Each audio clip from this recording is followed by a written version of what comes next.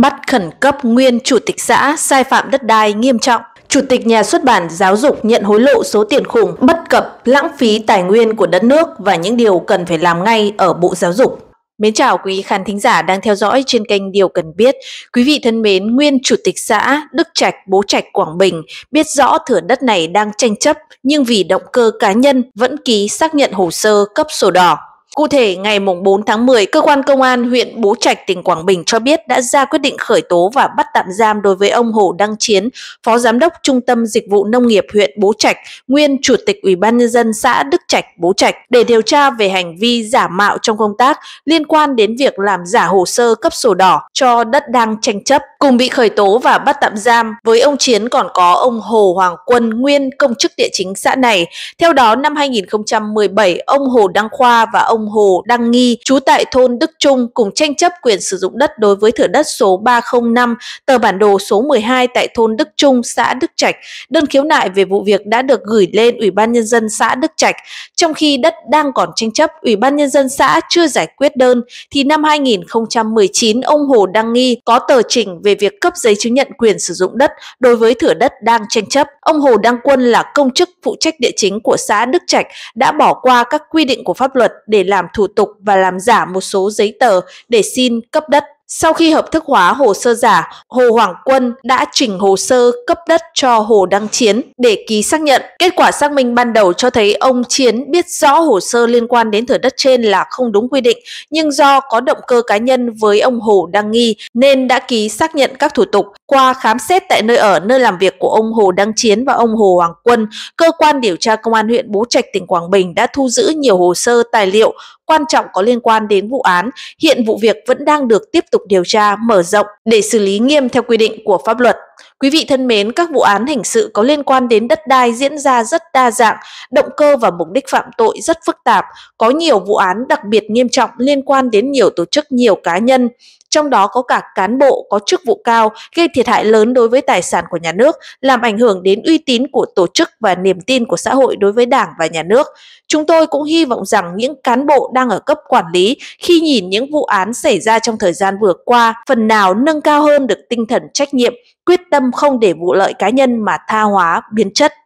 Quý vị thân mến, Tổng Bí thư Chủ tịch nước Tô Lâm đã khẳng định cuộc đấu tranh phòng chống tham nhũng của Đảng dưới sự đứng đầu và phát động của Tổng Bí thư Nguyễn Phú Trọng đã đạt được những kết quả rất quan trọng. Thời gian tới, công tác đấu tranh phòng chống với tham nhũng tiêu cực sẽ tiếp tục được triển khai mạnh mẽ với phương châm giải pháp nhiệm vụ như thời gian vừa qua trong đó sẽ đẩy mạnh phòng chống tham nhũng tiêu cực theo phương châm không ngừng, không nghỉ, không có vùng cấm, không có ngoại lệ, bất kể người đó là ai. Xử lý một người để cảnh tỉnh cả vùng, cả lĩnh vực xử lý trước hết ở cơ quan có chức năng phòng chống tham nhũng tiêu cực, góp phần làm trong sạch nội bộ đảng, không chỉ chống tham nhũng tiêu cực ở cấp trung ương mà còn cả ở địa phương. Chủ tịch nhà xuất bản giáo dục nhận hối lộ số tiền khủng, sách giáo khoa đi về đâu? Quý vị thân mến, hiện nay công tác phòng chống với tham nhũng tiêu cực đã trở thành một phong trào, trở thành xu thế không thể đảo ngược là công việc chung của mọi người dân chứ không phải của riêng cơ quan chức năng nào. Ngày 23 tháng 9, cơ quan cảnh sát điều tra Bộ Công an đã ban hành kết luận điều tra vụ án đưa nhận hối lộ vi phạm quy định đấu thầu xảy ra tại nhà xuất bản giáo dục Việt Nam. Cơ quan điều tra đề nghị truy tố 8 bị can về các tội đưa nhận hối lộ, vi phạm quy định về đấu thầu gây hậu quả nghiêm trọng. Trong đó bị can Tô Mỹ Ngọc, chủ tịch công ty Phùng Vĩnh Hưng và bị can Nguyễn Chí Minh, giám đốc công ty Giấy Minh Cường Phát bị đề nghị truy tố về tội đưa hối lộ. Người mà bà Ngọc, ông Minh đưa hối lộ là cựu chủ tịch nhà xuất bản giáo dục Nguyễn Đức Thái. Ông Thái đã nhận lời giúp đỡ tạo điều kiện để công ty của bà Ngọc và ông Minh trúng các gói thầu mua sắm khi nhà xuất bản giáo dục mua giấy in để in sách. Theo kết quả điều tra, trước khi nhà xuất bản giáo dục triển khai việc mua sắm giấy in khoảng tháng 6, tháng 7 năm 2017, bà Tô Mỹ Ngọc đến gặp và được ông Thái đồng ý tạo điều kiện cho tham gia trúng thầu cung cấp giấy in. Được trúng thầu tháng 12 năm 2017 2017, bà Ngọc tự tay chuẩn bị số tiền 3 tỷ đồng từ quỹ cá nhân để ở nhà gồm 6 cọc tiền đựng trong túi sách, giấy loại đựng quà Tết. Bà Ngọc đã xách túi tiền đến phòng làm việc của ông Thái tại tầng 9 trụ sở nhà xuất bản giáo dục. Khi vào phòng làm việc, bà Ngọc ngồi ở ghế đầu tiên, dãy có 3 ghế, để túi cạnh tiền, bàn uống nước và nói có chút quà cảm ơn ông Thái đã giúp cho công ty trúng thầu. Sau đó, bà Ngọc về, ông Thái mở túi kiểm tra và cất tiền tại kết sắt trong phòng làm việc. Trong các năm từ 2018 đến năm 2021 đều đặn hàng năm, bà Ngọc đều đến phòng làm việc của ông Thái đưa số tiền 4 tỷ đồng để cảm ơn sau khi trúng thầu. Cách thức đưa tiền đều giống nhau, thường vào dịp cuối năm hoặc đầu năm dương lịch, bà Ngọc sẽ tự chuẩn bị 4 tỷ đồng gồm 8 cọc, mỗi cọc 10 thép, mỗi thép 50 triệu đồng được bọc kín đựng vào túi quà Tết có hai quai sách và được buộc lại, sau đó úp ngược lại cho vào túi giấy cùng loại. Bà Ngọc xách túi tiền và một mình đến phòng làm việc của ông Thái đều ngồi đúng ghế đầu tiên để túi tiền cạnh bàn nước và nói có chút quà biếu cảm ơn ông Thái. Khi bà Ngọc đưa tiền, không có ai chứng kiến. Ngoài ra vào dịp Tết Nguyên đán các năm 2018-2022, bà Ngọc đều đưa cảm ơn ông Thái số tiền 200 triệu đồng trên một năm. Tổng số tiền bà Ngọc đưa đưa là 1 tỷ đồng. Cơ quan điều tra đã xác định từ năm 2000 2017 đến năm 2018, bà Ngọc đã đưa hối lộ cho ông Thái 20 tỷ đồng để được trúng 13 gói thầu, tổng giá trị 2.100 tỷ đồng. Quý vị thân mến, có thể nói tệ nạn tham nhũng tiêu cực là hành vi gây ra những ảnh hưởng rất nghiêm trọng đến sự phát triển bền vững của đất nước, làm cho kinh tế chậm phát triển, thất thoát và lãng phí tài sản của nhà nước của nhân dân, gây rối loạn nền kinh tế, nguy hại hơn là làm xói mòn lòng tin của nhân dân đối với Đảng và nhà nước bất cập, lãng phí tài nguyên của đất nước và những điều cần phải làm ngay ở Bộ Giáo dục. Cơn bão số 3 Yagi cùng hoàn lưu bão đã gây ra những thiệt hại rất nghiêm trọng về người và tài sản đối với nhiều tỉnh miền núi phía Bắc và đồng bằng sông Hồng. Gần một tuần trôi qua tại các tỉnh bị ảnh hưởng bởi bão số 3 và hoàn lưu bão vẫn còn đang ngổn ngang, cảnh đổ nát, bề bụn. Bên cạnh đó là những gương mặt thất thần, mệt mỏi, bất lực sau khi phải chống chọi với mưa bão và dòng nước lũ. Có rất nhiều các đoàn thiện nguyện đang xin sách giáo khoa để gửi đến cho trẻ em những vùng chịu ảnh hưởng nặng nề của cơn bão Yagi. Quý vị thân mến, có một thính giả đã chia sẻ khi dục các con tìm sách để gửi tặng các em nhỏ miền núi mà chợt nhớ ra là không biết các em có dùng được không. Thống nhất một bộ sách cho các em từ cấp 1 đến cấp 3 cũng là một trong những việc cần làm ngay và luôn. Sách cũng từ rừng mà ra, tiết kiệm sách là một trong những cách tốt nhất để bảo vệ rừng ngăn cản lũ quét. Mỗi năm các nhà sản xuất cho ra lò hàng trăm ngàn bộ sách giáo khoa cho các cấp học. Vấn đề là các bộ sách giáo khoa liên tục được thay thế, bổ sung để theo kịp chương trình mới, đặc biệt là có những cuốn thuộc dạng không cần thiết đã gây ra lãng phí lớn cho nguồn lực của xã hội. Chúng ta thử làm một phép tính nhỏ, giá bìa của hai cuốn sách trên tổng là 33.000 đồng. Thoạt nghe thì có vẻ không đáng bao nhiêu tiền, song nếu nhân với số lượng in lần lượt là 170.000 cuốn hay 200.000 cuốn thì tổng số tiền phụ huynh học sinh phải bỏ ra lên đến hơn 12 tỷ đồng. Quả là một số tiền không hề nhỏ. Đề cập đến câu chuyện lãng phí sách giáo khoa, bà Lê Thị Nga, chủ nhiệm Ủy ban Tư pháp của Quốc hội cũng từng phải thốt lên tại sao bây giờ khác thế hệ trước một bộ sách không dùng được hai ba thế hệ tại sao lại phải ghi bài tập vào sách giáo khoa tại sao lại để phí mỗi năm chúng ta sản xuất ra hơn một triệu cuốn sách giáo khoa xã hội mất hàng nghìn tỷ đồng nhưng đến năm sau không thể sử dụng được nữa hay cũng có một bài chia sẻ của một phụ huynh có đến 54.000 lượt like và hơn 11.000 lượt chia sẻ. Cụ thể bài viết chia sẻ như sau. Bộ sách Cánh Diều, Chân Trời Sáng Tạo, Kết Nối Tri Thức sẽ bằng cái gì? Bằng sự dối rắm của phụ huynh khi mua sách cho con, bằng sự lo lắng của các nhà sách khi không dám nhập nhiều sách vì sợ dư sách là không bán được nữa dẫn đến tình trạng thiếu thừa sách giáo khoa hỗn độn cả chục năm nay bằng sự lãng phí vô tội vạ trong các gia đình địa phương khi mà chương trình học khác nhau, sách giáo khoa khác nhau. Nên sau khi học xong, bạn này không thể cho bạn kia sách học tiếp, thậm chí là anh chị em trong một nhà cũng không học được sách của nhau, hay bằng sự phá hoại môi trường từ sự lãng phí nguồn tài nguyên in sách dùng một lần như hiện nay. Quý vị thân mến, với vô vàn những thứ bất cập khi cả nước có tới 3 bộ sách khác nhau, một thính giả đã từng lên tiếng một lần nhưng vẫn phải lên tiếng lại lần nữa vì qua trận bão lũ lụt lịch sử tàn phá miền Bắc vừa qua, việc phân loại và phân bổ sách giáo khoa cũ cho học sinh vùng lũ rất khó khăn. Nhiều nơi thiếu sách vở trầm trọng, nhưng sách thì bộ thừa, bộ thiếu do chương trình khác nhau. Hàng năm nhiều phụ huynh phải vứt bỏ những bộ sách gần như mới, còn nhà xuất bản thì tiếp tục in sách cũng là hành động gián tiếp để phá hoại môi trường, gián tiếp gây ra những thiên tai. Đất nước Việt Nam còn nghèo, môi trường thì ngày càng bị phá hoại nghiêm trọng, dẫn đến thiên tai ngày càng khắc nghiệt. Xin hãy tiết kiệm và tránh các hành động làm ảnh hưởng xấu đến môi trường. Chúng tôi rất mong muốn Bộ Giáo dục nhìn nhận lại vấn đề về sách giáo khoa. Đây cũng là mong muốn chung của toàn thể phụ huynh trong nước. Qua đây chúng tôi cũng hy vọng rằng có sự quan tâm hơn nữa của Thủ tướng Chính phủ đến vấn đề này, không chỉ là để tiết kiệm về nguồn tài nguyên mà còn giúp cho kinh tế của đất nước không bị tụt lùi.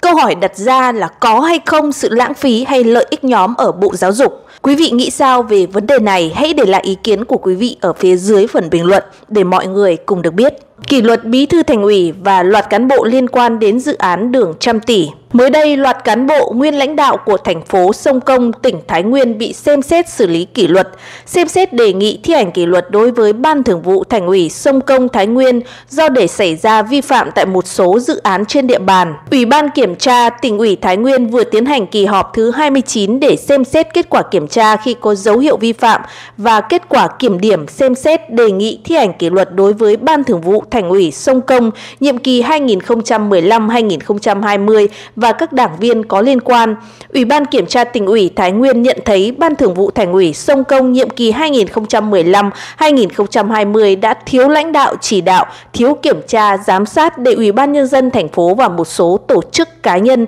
vi phạm các quy định của Đảng, pháp luật của nhà nước trong việc tổ chức triển khai thực hiện dự án đầu tư xây dựng tuyến đường thắng lợi kéo dài giai đoạn 2 theo hình thức đầu tư PPP,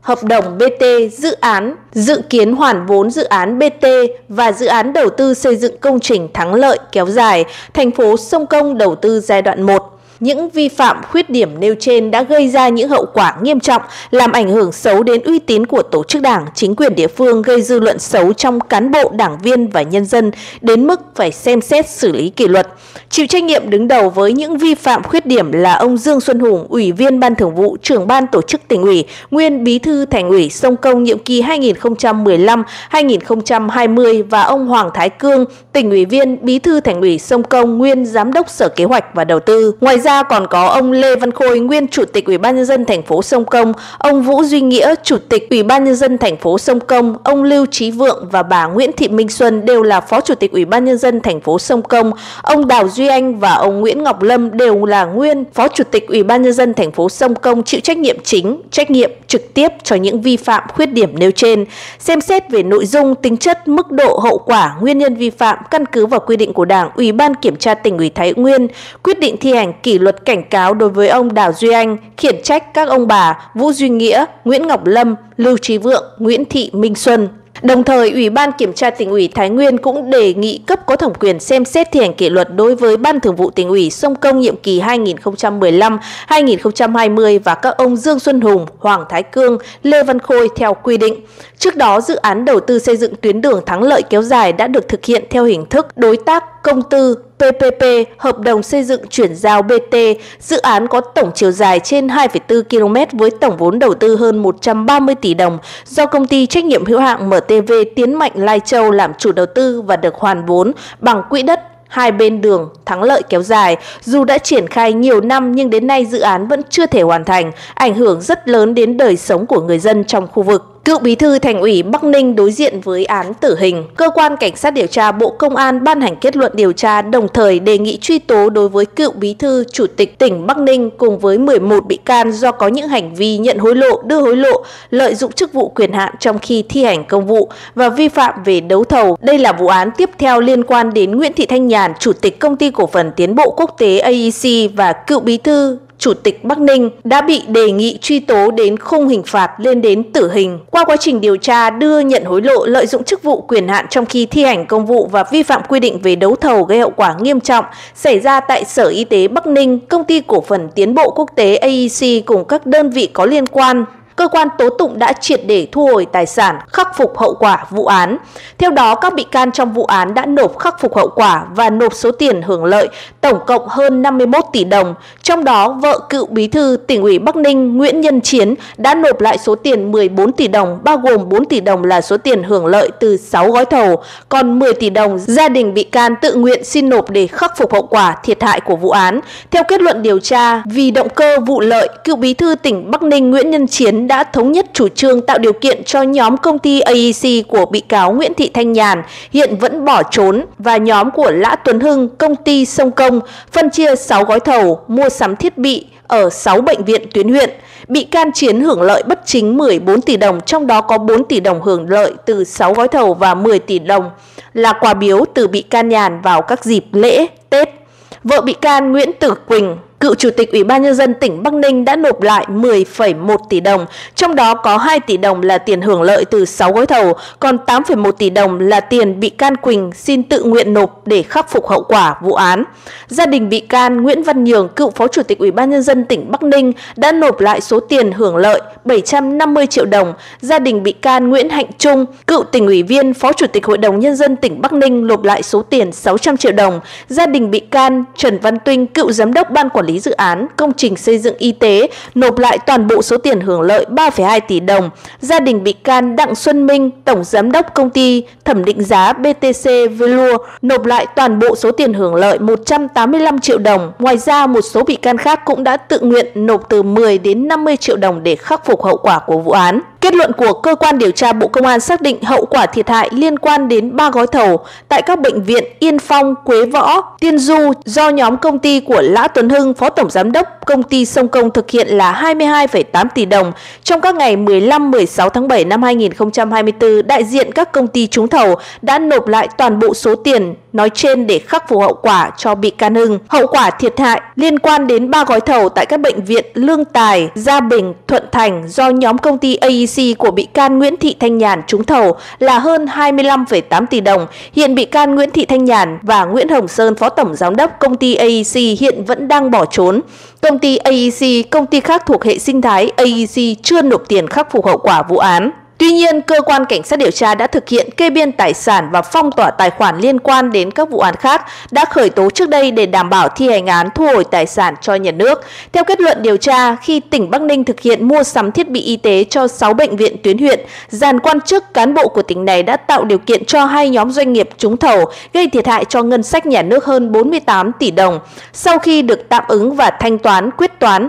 hai nhóm doanh nghiệp gồm công ty AEC do bị can Nguyễn Thị Thanh Nhàn làm chủ tịch và nhóm Lã Tuấn Hưng, công ty Sông Hồng đã đưa tiền hối lộ cho các bị can từng là lãnh đạo tỉnh ủy Bắc Ninh. Liên quan đến vụ án, cơ quan điều tra Bộ Công an cũng đề cập đến trách nhiệm của tỉnh ủy, Ủy ban nhân dân tỉnh Bắc Ninh. Cơ quan điều tra nhận định đối với ông Nguyễn Lương Thành, thời điểm giữ chức Phó Chủ tịch Ủy ban nhân dân tỉnh đã ký quyết định về việc phân bổ vốn đầu tư xây dựng cơ bản giai đoạn 2014-2016 từ nguồn vốn trái phiếu chính phủ bổ sung cho các dự án trên địa bàn tỉnh Bắc Ninh, trong đó có 6 bệnh viện đa khoa tuyến huyện. Kết quả điều tra đến nay không có căn cứ chứng minh việc can thiệp tác động các cấp để xin cấp vốn bổ sung cho các dự án trên địa bàn tỉnh Bắc Ninh và không có tài liệu thể hiện việc chỉ đạo can thiệp của ông Thành ký quyết định phân bổ vốn cho 6 dự án bệnh viện đa khoa tuyến huyện nêu trên. Vì vậy, cơ quan cảnh sát điều tra không xem xét trách nhiệm hình sự mà đề nghị xử lý về mặt đảng và hành chính đối với ông Nguyễn Lương Thành.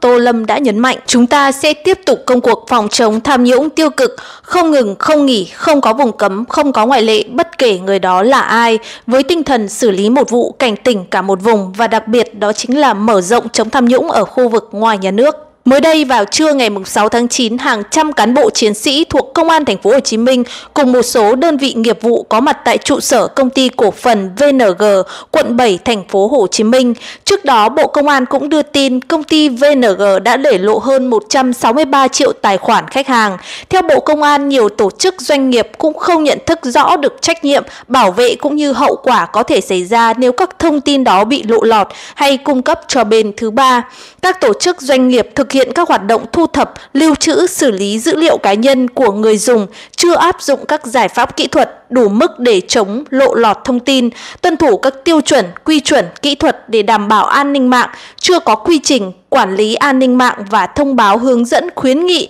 xử lý khi xảy ra sự cố lộ lọt dữ liệu cá nhân của người dùng. Bộ Công an cũng đưa rõ một số vụ điển hình như công ty VNG đã để lộ hơn 163 triệu tài khoản khách hàng hay công ty Thế giới di động điện máy xanh để lộ hơn 5 triệu email và hàng chục nghìn thông tin thẻ thanh toán như Visa, thẻ tín dụng của khách hàng. Tin tặc đã tấn công vào hệ thống máy chủ của hãng hàng không quốc gia Việt Nam Vietnam Airlines đăng tải lên Internet 411.000 tài khoản khách hàng thành viên của chương trình bông sen vàng. Tình trạng để lộ lọt thông tin khách hàng để các các công ty môi giới dịch vụ taxi của Việt Nam sử dụng để mời chào khách hàng qua tin nhắn SMS, dữ liệu khách hàng của công ty FPT đã bị đăng tải công khai trên mạng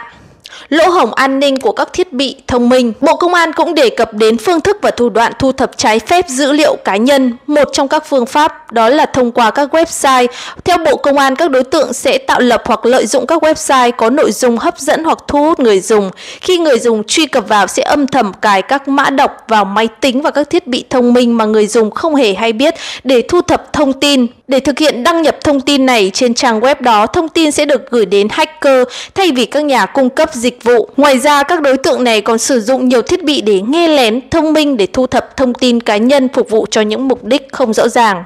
Nhiều cán bộ bị công an khám xét mới lộ ra khối tài sản khổng lồ không rõ nguồn gốc. Quý vị thân mến, khi xử lý các vụ án tham nhũng vừa qua cho thấy có rất nhiều các trường hợp sau khi công an khám xét mới phát hiện ra khối tài sản khổng lồ, không kê khai, không rõ nguồn gốc. Cụ thể vào sáng ngày 6 tháng 9, Ủy ban Tư pháp của Quốc hội họp phiên toàn thể lần thứ 14 cho ý kiến thẩm tra báo cáo về công tác phòng chống tham nhũng năm 2024. Phó chủ nhiệm Ủy ban Tư pháp Nguyễn Mạnh Cường cho biết, nhóm nghiên cứu của Ủy ban Tư pháp nhận định về việc thực hiện các biện pháp phòng ngừa tham nhũng trong năm 2024 tiếp tục được triển khai đồng bộ quan tâm, điều chỉnh cách thức triển khai để phát huy hiệu quả, quyết xử lý trách nhiệm chính trị với người đứng đầu để xảy ra tham nhũng. Thời gian vừa qua đã có 16.351 người được xác minh tài sản thu nhập năm 2023, qua đó có 19 người bị kết luận là không trung thực trong việc kê khai tài sản, thu thập và xử lý kỷ luật, xóa tên khỏi danh sách ứng cử kỷ luật hình thức cảnh cáo, kỷ luật bằng hình thức cách chức.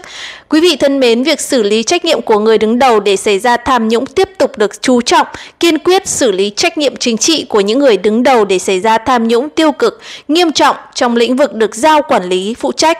Năm 2024 có 38 người đứng đầu, cấp phó đứng đầu bị xử lý kỷ luật do thiếu trách nhiệm để xảy ra hành vi tham nhũng, trong đó có 14 người bị khiển trách, 13 người bị cảnh cáo, 11 người bị cách chức. Các cuộc thanh tra kiểm tra việc thực hiện các biện pháp phòng ngừa tham nhũng được tiến hành nhiều hơn so với cùng kỳ năm 2023. Tuy nhiên, số lượng các cuộc thanh tra kiểm tra được tiến hành còn ít, vi phạm được phát hiện không nhiều. Đã tiến hành khởi tố nhiều cán bộ cấp cao. Trong báo cáo của chính phủ cũng nêu rõ các cơ quan đã kiên quyết khởi tố, điều tra xử lý nghiêm một số vụ án tham nhũng tiêu cực, đặc biệt nghiêm trọng, phức tạp liên quan đến các hành vi sai phạm diễn ra từ nhiều năm trước và cả những sai phạm mới phát sinh xảy ra trên diện rộng có tổ chức cả trong khu vực nhà nước và khu vực ngoài nhà nước, đặc biệt là đã khởi tố về các hành vi phạm tội về kinh tế, cơ quan điều tra đã đi sâu làm rõ bản chất của vụ án và khởi tố các hành vi phạm tội về tham nhũng. Cùng đó đã khởi tố nhiều cán bộ cấp cao, cán bộ lãnh đạo, nguyên lãnh đạo chủ chốt của một số địa phương tiếp tục tạo bước tiến mới trong phát hiện xử lý tham nhũng và tiêu cực. Nhận quà Tết 5 tỷ đồng, cựu bí thư Lào Cai lãnh án. Xin kính chào quý khán thính giả đang theo dõi trên kênh Điều Cần Biết. Rất hân hạnh được gửi đến quý vị những thông tin nóng nhất mà chúng tôi vừa mới cập nhật. Quý vị thân mến, mới đây tại cơ quan điều tra, cựu bí thư tỉnh Lào Cai Nguyễn Văn Vịnh khai nhận vào giáp Tết Nguyên đán năm 2015 đã được công ty Lilama mang 5 tỷ đồng tới quà tặng Tết. Viện Kiểm sát Nhân dân tỉnh Lào Cai vừa ban hành cáo trạng bổ sung truy tố cựu bí thư tỉnh ủy Lào Cai Nguyễn Văn Vịnh Cựu Chủ tịch Ủy ban Nhân dân tỉnh Lào Cai Doãn Văn Hưởng, Nguyễn Thanh Dương và Lê Ngọc Hưng đều là cựu Phó Chủ tịch tỉnh. Mai Đình Định, cựu giám đốc Sở Tài nguyên và Môi trường, Phan Văn Cương, cựu phó giám đốc Sở Công Thương cùng về tội lợi dụng chức vụ, quyền hạn trong khi thi hành công vụ. 7 người ở công ty Apatit Việt Nam gồm Nguyễn Quang Huy, cựu tổng giám đốc, Phạm Cao Khiêm, cựu phó tổng giám đốc, Nguyễn Ngọc Bích, cựu chủ tịch hội đồng thành viên bị truy tố vi phạm quy định về nghiên cứu thăm dò khai thác tài nguyên. Riêng ông Nguyễn Mạnh Thừa, giám đốc công ty Lilama bị truy tố hai tội danh là rửa tiền và vi phạm quy định về nghiên cứu thăm dò và khai thác tài nguyên. Theo cáo trạng, các bị can Nguyễn Văn Vịnh, Doãn Văn Hưởng cùng các bị can nhóm thuộc cựu cán bộ lãnh đạo tỉnh Lào Cai từ năm 2011 đến năm 2015 biết rõ diện tích 37.700 m2 tại thôn 2, xã Đồng Tuyển, thành phố Lào Cai, tỉnh Lào Cai thuộc khai trường 18 đã được Bộ Công Thương phê duyệt và quy hoạch quặng apatit tại quyết định số 28 ngày 18 tháng 8 năm 2008 và thẩm quyền cấp phép khai thác khoáng sản của Bộ Tài nguyên và Môi trường. Tuy nhiên, vì mục đích phát triển của tỉnh Lào Cai và tạo điều kiện cho doanh nghiệp phát triển không phù hợp với quy định của pháp luật, các bị can đã lợi dụng chức vụ quyền hạn của mình làm trái công vụ, ký các văn bản giấy chứng nhận đầu tư trái quy định của pháp luật để cấp 37.700 m2 đất thuộc khai trường 18 cho công ty Lilama xây dựng 32 dự án khách sạn, nhà hàng. Từ đó tạo điều kiện cho công ty Lilama và công ty trách nhiệm hữu hạn MTV Apatit Việt Nam đã khai thác và tiêu thụ trái phép hơn 1,5 triệu tấn quặng apatit có trị giá hơn 610 tỷ đồng. Công ty Lilama thu lợi số tiền hơn 171 tỷ đồng và công ty Apatit thu lợi số tiền là 184 tỷ đồng. Cáo trạng mới ban hành xác định Bị can Nguyễn Văn Vịnh với cương vị là Phó Chủ tịch và Chủ tịch Ủy ban dân tỉnh Lào Cai trong giai đoạn từ năm 2012 đến năm 2015 là người chịu trách nhiệm quản lý toàn diện các hoạt động của Ủy ban dân tỉnh và trực tiếp chỉ đạo, điều hành công tác quy hoạch, kế hoạch phát triển kinh tế xã hội và chủ trương đầu tư, cấp giấy chứng nhận đầu tư các dự án. Tuy nhiên trong quá trình thực thi công vụ được giao đã không thực hiện đúng các quy định của pháp luật trong công tác quản lý bảo vệ tài nguyên khoáng sản trên địa bàn tỉnh Lào Cai mà ký các văn bản có ý kiến bút phê chỉ đạo vào các tài liệu khác có liên quan trái quy định của pháp luật để công ty Lilama và công ty Apatit Việt Nam lợi dụng khai thác và tiêu thụ trái phép khoáng sản quặng Apatit tại khai trường 18 thuộc thôn 2, xã Đồng Tuyển thông qua thực hiện dự án khách sạn, nhà hàng và việc cải tạo mặt bằng khu mỏ. Trong quá trình điều tra, bị can Nguyễn Văn Vịnh khai nhận vào giáp Tết Nguyên đán năm 2015, bị can Vịnh làm bí thư tỉnh ủy Lào Cai Nguyễn Mạnh Thừa đã mang 5 tỷ đồng đến nhà bị can tặng quà Tết. Sau khi nhận số tiền 5 tỷ, bị can Vịnh đã sử dụng chi tiêu cá nhân hết. Số tiền khủng mà chủ tịch xã ở thành phố Phú Quốc nhận hối lộ để làm ngơ cho các sai phạm. Quý vị thân mến, mới đây cơ quan cảnh sát điều tra công an thành phố Phú Quốc, tỉnh Kiên Giang đã phối hợp với Viện Kiểm sát Nhân dân thành phố Phú Quốc thi hành lệnh giữ người trong trường hợp khẩn cấp với Du Việt Thanh, sinh năm 1980, ngụ thành phố Phú Quốc, nguyên là Chủ tịch Ủy ban Nhân dân xã Cửa Cạn, thành phố Phú Quốc để tiếp tục điều tra xử lý về hành vi nhận hối lộ. Theo thông tin của cơ quan Cảnh sát điều tra Công an thành phố Phú Quốc cho biết, qua mở rộng điều tra vụ án lừa đảo chiếm đoạt tài sản, phát hiện đối tượng Du Việt Thanh, nguyên chủ tịch Ủy ban nhân dân xã Cửa Cạn đã nhận hối lộ một xe ô tô và tiền mặt trị giá hơn 5 tỷ đồng để làm ngơ cho các hoạt động phân lô bán nền đất rừng, đất nhà nước quản lý. Với hành vi này, Thanh đã tiếp tay cho các bị can khác lừa đảo chiếm đoạt tài sản của người dân hàng trăm tỷ đồng. Hiện cơ quan công an đang tiếp tục điều tra làm rõ và xử lý theo quy định của pháp luật. Trước đó, ngày 19 tháng 4, Công an thành phố Phú Quốc cũng đồng loạt tiến hành tống đạt quyết định khởi tố bị can và thực hiện lệnh bắt tạm giam đối với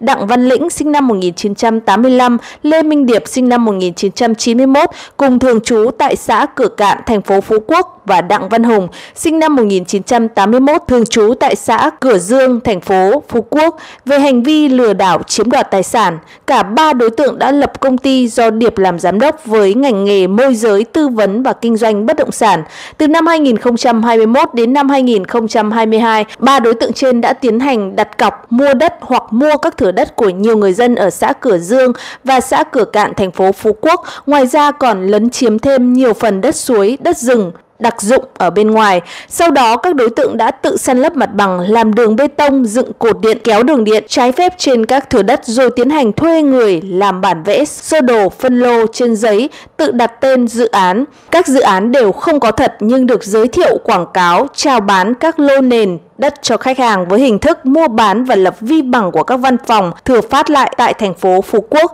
nhằm thu lợi bất chính toàn bộ quá trình có sự phân công vai trò cụ thể của từng đối tượng. Thời điểm phân lô bán các nền đất cho khách hàng ngoài các thửa đất đã có giấy chứng nhận quyền sử dụng đất nhưng là đất trồng cây lâu năm, còn có đất chưa có giấy chứng nhận quyền sử dụng đất là đất suối, đất rừng đặc dụng do nhà nước và vườn quốc gia Phú Quốc quản lý. Khi phân lô bán nền thì các thửa đất chưa thuộc quyền sở hữu hợp pháp của các đối tượng do mới chỉ đặt cọc hoặc đã ký công chứng sử dụng đất cho người khác, thậm chí có thửa đất các đối tượng tự lấn chiếm đất suối do nhà nước quản lý, đất rừng do vườn quốc gia Phú Quốc quản lý. Có thửa đất đã phân lô bán nền cho khách hàng nhưng các đối tượng lại ký công chứng chuyển nhượng quyền sử dụng đất cho người khác. Các đối tượng đã phân lô bán nền cho hàng trăm khách hàng với số tiền chiếm đoạt lên đến hàng trăm tỷ đồng.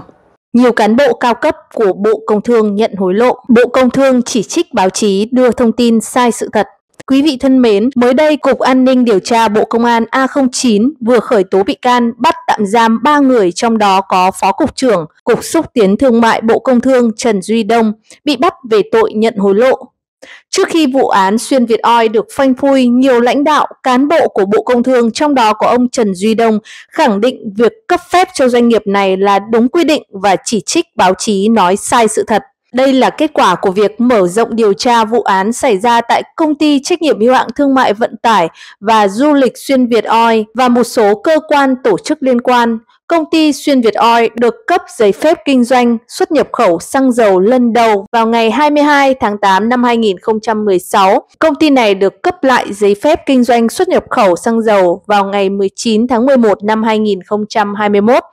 Trong khi đó, ông Trần Duy Đông được giao phụ trách vụ thị trường trong nước từ tháng 8 năm 2017. Vụ thị trường trong nước là cơ quan tham mưu giúp Bộ trưởng quản lý nhà nước về thương mại và thị trường trong nước, trong đó có lĩnh vực xăng dầu. Năm 2021, khi Xuyên Việt Oil được cấp lại giấy phép đầu mối xăng dầu, ông Đông đang là vụ trưởng vụ thị trường trong nước. Tháng 9 năm 2023, hai lãnh đạo Xuyên Việt Oil là bà Mai Thị Hồng Hạnh sinh năm 1979, giám đốc và thuộc cấp là Nguyễn Thị Như Phương sinh năm 1992 bị bắt và báo chí đã đặt ra nhiều câu hỏi về việc cấp phép cho doanh nghiệp này là đúng hay là sai quy định. Thời điểm đó, ông Đỗ Thắng Hải vẫn còn là Thứ trưởng của Bộ Công Thương phụ trách xăng dầu, còn ông Trần Duy Đông vừa mới rời vụ trưởng vụ thị trường trong nước để chuyển sang làm cục trưởng cục xuất nhập khẩu. Văn bản phản hồi báo chí đã được lãnh đạo này duyệt gửi đi đều khẳng định khi được Bộ Công Thương cấp phép, công ty có đầy đủ các điều kiện quy định tại Điều 7 Nghị định số 83 năm 2014 Nghị định của Chính phủ.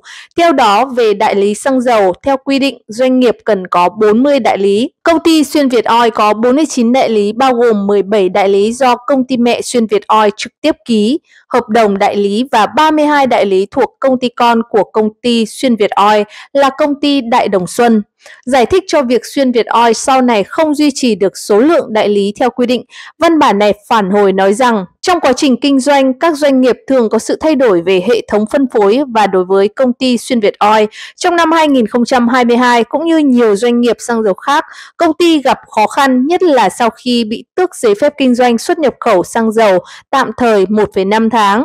Theo kết luận của đoàn thanh tra Bộ Công Thương, các đại lý của công ty Xuyên Việt Oil đã phải chuyển sang ký hợp đồng và lấy hàng của các công ty khác để đảm bảo duy trì hoạt động kinh doanh của đại lý. Việc không duy trì đủ hệ thống đại lý là do các yếu tố khách quan hoặc chủ quan. Sau này, trong quá trình hoạt động của công ty, văn bản phản hồi báo chí cho biết và bày tỏ thêm báo chí đang viết sai sự thật. Trong khi trước đó, kết luận của thanh tra của Bộ Công Thương đã chỉ thẳng chiêu lách luật của Xuyên Việt Oil, đó là để đủ điều kiện về hệ thống phân phối, có 37 đại lý bán lẻ của công ty cổ phần Đại Đồng Xuân được công ty Xuyên Việt Oil kê khai thuộc hệ thống của mình thông qua cơ chế công ty mẹ con. Cụ thể, Xuyên Việt Oil góp vốn trên 50% vào công ty Đại Đồng Xuân. Thế nhưng điều đáng nói ở đây cũng chính là trong ngày Bộ Công Thương cấp giấy phép kinh doanh xuất nhập khẩu xăng dầu, công ty Xuyên Việt Oil và công ty cổ phần Đại Đồng Xuân đã ký kết văn bản hủy bỏ hợp đồng chuyển nhượng cổ phần và tại thời điểm hủy bỏ, hai bên chưa thực hiện bất cứ quyền và nghĩa vụ nào của hợp đồng đã ký kết.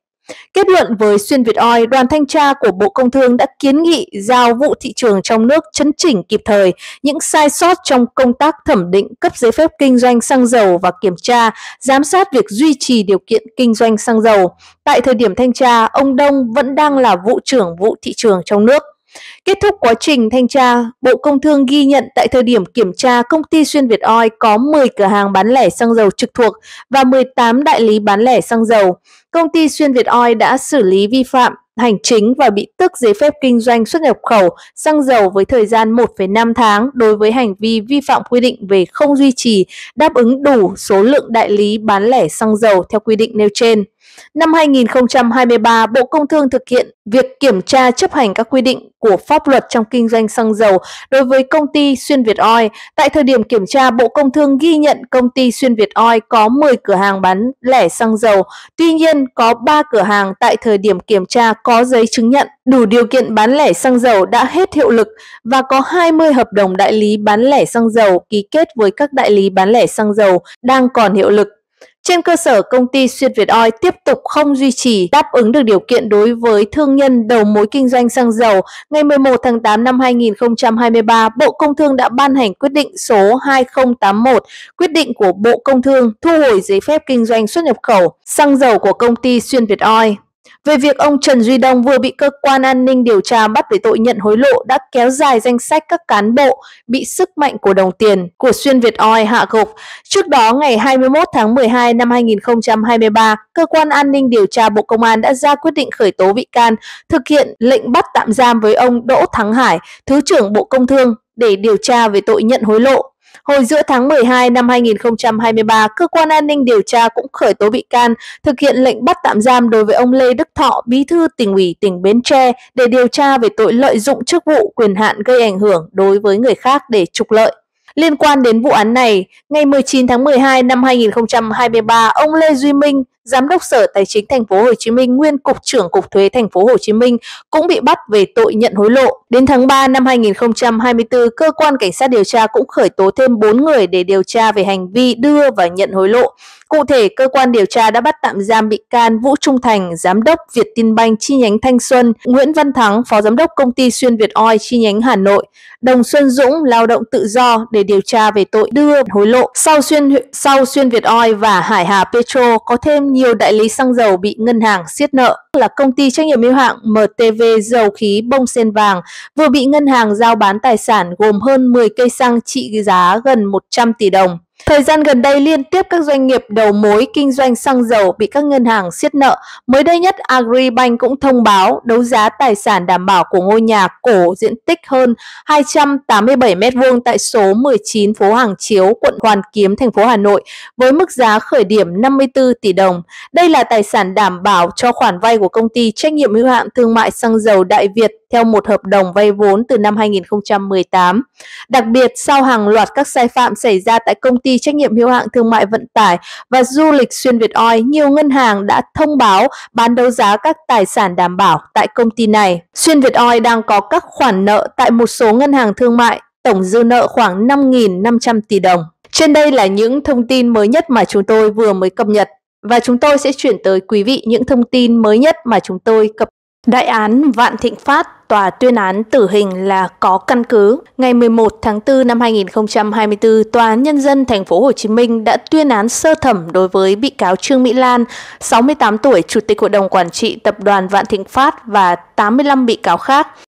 Hội đồng xét xử tuyên bị cáo Trương Mỹ Lan mức án tử hình về ba tội danh tham mô tài sản, đưa hối lộ và vi phạm quy định về cho vay trong hoạt động của các tổ chức tiến dụng.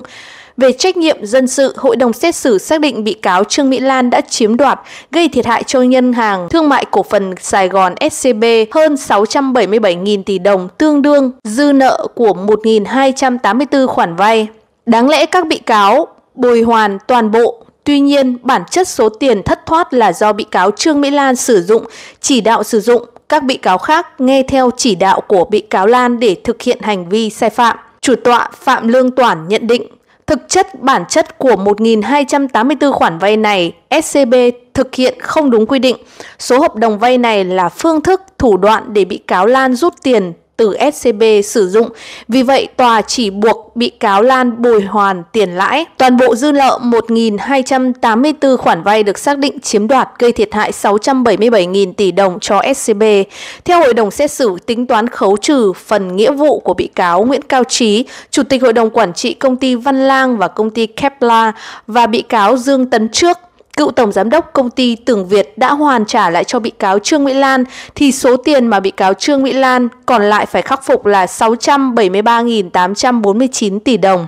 Bị tuyên án tử hình, khối tài sản cực khủng của bà Trương Mỹ Lan sẽ xử lý như thế nào? Sau khi tuyên phạt bị cáo Trương Mỹ Lan mức án chung là tử hình về 3 tội danh, hội đồng xét xử tiếp tục tuyên án liên quan đến vấn đề tài sản. Hội đồng xét xử tuyên tiếp tục kê biên căn biệt thự cổ tại 110, 112 Võ Văn Tần, quận 3, thành phố Hồ Chí Minh. Theo hội đồng xét xử, công ty đứng ra mua căn biệt thự này là của các thành viên trong gia đình bị cáo Trương Mỹ Lan, nên đây là tài sản liên quan đến bị cáo Lan và tập đoàn Vạn Thịnh Phát nên cần kê biên để đảm bảo việc thi hành án. Đối với loạt bất động sản tại các quận 1, quận 7, quận 4, Phú Nhuận, hội đồng xét xử cũng tuyên việc tiếp tục kê biên để đảm bảo nghĩa vụ dân sự của bị cáo Trương Mỹ Lan. Đối với khoản tiền hơn 6.000 tỷ đồng mà bị cáo Lan đã chuyển cho công ty cổ phần TH Hạ Long và công ty Âu Lạc để mua 18 triệu cổ phần, hội đồng xét xử cho biết tiền mà bị cáo Lan mua cổ phần là từ SCB nên cần tịch thu, do đó tuyên buộc công ty cổ phần TH Hạ Long và công ty Âu Lạc nộp lại 6.000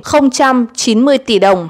Hội đồng xét xử cũng tuyên tiếp tục kê biên nhiều tài sản khác của bị cáo Lan tại quận 1, quận 3 và quận 7 thành phố Hồ Chí Minh. Trước đó, tòa buộc bà Trương Mỹ Lan bồi thường 1.243 khoản vay tương đương với 673.849 tỷ đồng, mức án phí khủng nhất từ trước đến nay. Bên cạnh đó, tòa tuyên tiếp tục kê biên hàng loạt các tài sản liên quan tới vụ án cũng như kiến nghị làm rõ nhiều nội dung khác. Ngoài ra, bản sơ thẩm tuyên buộc các bị cáo mỗi người phải chịu 200.000 đồng án phí hình sự sơ thẩm. Riêng bị cáo Trương Mỹ Lan phải chịu gần 674 tỷ đồng án phí dân sự sơ thẩm. Các bị cáo Nguyễn Cao Trí, Dương Tấn Trước, Nguyễn Thanh Tùng phải chịu án phí dân sự sơ thẩm theo quy định. Đây là một trong những vụ án có số án phí được xem là khủng nhất trong lịch sử tố tụng của nước ta khi có một bị cáo phải nộp 674 tỷ đồng tiền án phí dân sự sơ thẩm.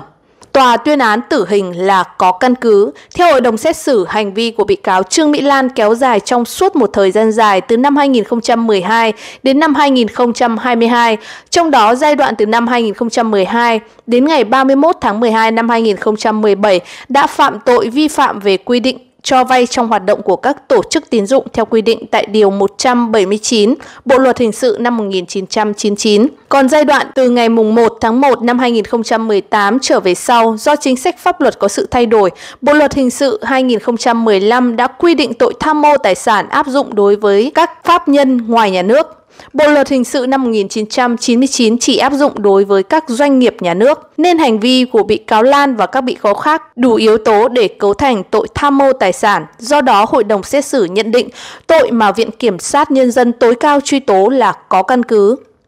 Ngoài ra, hội đồng xét xử đề nghị mức án trung thân đối với bị cáo Đinh Văn Thành, cựu chủ tịch hội đồng quản trị SCB đang bị truy nã, xét xử vắng mặt. Bị cáo Võ Tấn Hoàng Văn là cựu tổng giám đốc SCB và bị cáo Bùi Anh Dũng là cựu chủ tịch hội đồng quản trị SCB về các tội tham mô tài sản và vi phạm quy định về hoạt động của ngân hàng, hoạt động khác liên quan đến hoạt động ngân hàng. Bị cáo Chu Lập Cơ, Chủ tịch Hội đồng Quản trị Công ty Cổ phần Đầu tư Times Square là chồng của bị cáo Trương Mỹ Lan bị tuyên mức án 9 năm tù về tội vi phạm quy định cho vay trong hoạt động của các tổ chức tín dụng. Bị cáo Trương Mỹ Vân, Tổng Giám đốc Công ty Tập đoàn Quản lý Bất động sản Winshaw, cháu ruột của bị cáo Trương Mỹ Lan bị tuyên mức án 17 năm tù về tội tham mô tài sản. Về nhóm tội đưa, nhận hối lộ, Viện Kiểm sát nhận định dù Trương Mỹ Lan không thừa nhận hành vi đưa hối lộ 5,2 triệu đô cho cựu Cục trưởng Cục Thanh tra, Giám sát Ngân hàng 2 Đỗ Thị Nhàn, nhưng căn cứ vào lời khai của bị cáo Võ Tấn Hoàng Văn, cựu Tổng Giám đốc SCB và tài liệu chứng cứ dữ liệu điện tử cho thấy bị cáo Trương Mỹ Lan là người chỉ đạo bị cáo Văn gặp đưa hối lộ cho bị cáo Đỗ Thị Nhàn. Bị cáo Đỗ Thị Nhàn tuyên án trung thân về tội nhận hối lộ. Đối với nhóm 16 bị cáo thuộc nhóm tội lợi dụng chức vụ quyền hạn trong khi thi hành công vụ, bị cáo buộc nhận tiền từ nhóm của bà Trương Mỹ Lan để làm sai chức trách công vụ. Hiện các bị cáo đã nộp toàn bộ số tiền đã nhận. Các bị cáo này nhận từ SCB số tiền thấp nhất là 20 triệu đồng, cao nhất là gần 10 tỷ đồng. 16 bị cáo này bị tuyên mức án 3 năm tù treo đến 11 năm tù. Đối với các khoản tiền này, hội đồng xét xử nguồn gốc tiền từ SCB nên thu hồi trả lại cho SCB để khắc phục một phần hậu quả trong vụ án. Các bị cáo đồng phạm còn lại đề nghị mức án 3 năm tù treo đến 20 năm tù. Đối với các bị cáo được hưởng án treo nếu không phạm tội danh khác thì được trả tự do ngay tại tòa. Với 5 bị cáo bỏ trốn, cơ quan chức năng đã kêu gọi đầu thú nhưng các bị cáo từ bỏ quyền bảo vệ quyền lợi cho mình. Do đó, hội đồng xét xử xét thấy cần thiết áp dụng hình phạt nghiêm khắc đối với các bị cáo này. Đối với các bị cáo tại SCB, hội đồng xét xử nhận định chỉ là những người làm công ăn nương, đồng phạm giúp sức cho bị cáo Trương Mỹ Lan không được hưởng lợi nên xem xét giảm nhẹ một phần hình phạt. Theo hội đồng xét xử, hành vi phạm tội của bị cáo Trương Mỹ Lan và đồng phạm gây ra đặc biệt nghiêm trọng, gây thiệt hại đặc biệt lớn với SCB, đẩy ngân hàng này vào tình trạng mất thanh khoản, đồng thời vụ việc gây hoang mang trong người dân làm ảnh hưởng đến uy tín của Đảng, Nhà nước, xói mòn niềm tin của nhân dân. Trong đó, bị cáo Trương Mỹ Lan đóng vai có đóng vai trò là chủ mưu cầm đầu vì vậy, cần áp dụng mức hình phạt nghiêm khắc nhất mới đủ tác dụng răn đe phòng ngừa chung cho toàn xã hội. Cũng trong vụ án này, duy nhất bị cáo Nguyễn Cao Trí được xét xác